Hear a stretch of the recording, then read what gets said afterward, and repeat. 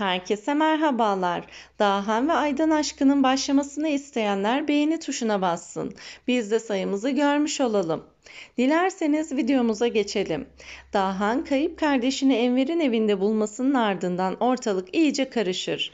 Dahan Enver'i öldürmek için gelmişti ama kardeşi Yağmur yüzünden düşmanını ortadan kaldıramadı. Dahan çevresindeki yanlış insanlar yüzünden iyice hissizleşmeye, Gattar lakabına yakınlaşmaya başlar.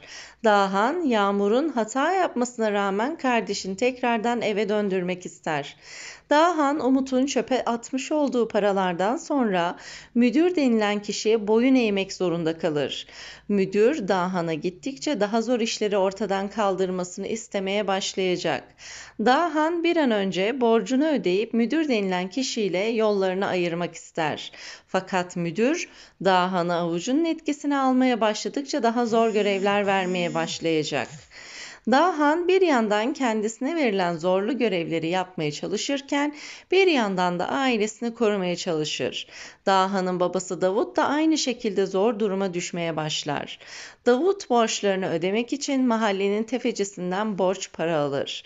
Fakat vermiş olduğu borcu ödeyemeyince Japon denilen kişiden tokat yedi. Japon vermiş olduğu parayı alamayınca Davut'un üzerine gelmeye başlayacak. Dahan yokken Japon rahat bir şekilde Davut'a tokat attı. Ama Dahan'ın gerçekleri öğrenmesinin ardından babasına bunu yapan kişiden intikamını alacak. Japon yapmış olduğu kötülüğün bedelini böylelikle ödemiş olacak. Fakat Gürkan komiser Dahan'ın peşini bırakmıyor. Gürkan komiser bir an önce Dahan'ın yapmış olduğu suçları ortaya çıkarıp onu hapse göndermenin peşine düştü. Bu yüzden Dahan atacağı adımları oldukça dikkat ederek atacak. Gürkan komiser Dahan'ı gizlice takip ederek suçüstü yapmaya çalışacak. Aydan ise geçmişte yaptığı hatalardan ders almaya başladı. Aydan kendisini Dahan'a affettirip eskisi gibi olmak istiyor. Dahan Aydan'a çok aşık ama geçmişte yapılanları da asla unutamıyor. Aydan yapmış olduğu hataların farkında ve bu yüzden de yapmış olduğu hataların telafisini vermek isteyecek. Aydan'ın hatalı karar vermesinin tek nedeni annesinin kurmuş olduğu tuzağa düşmesinden oldu. Aydan Dahan'ı tekrardan karşısında görünce annesini bir kenara bırakıp sevdiği adamın tekrardan kalbini kazanmak isteyecek. Sizce Dahan Aydan'ı affetmeli mi? Yorumlar kısmından bizlere kendi görüşlerinizi belirtebilirsiniz.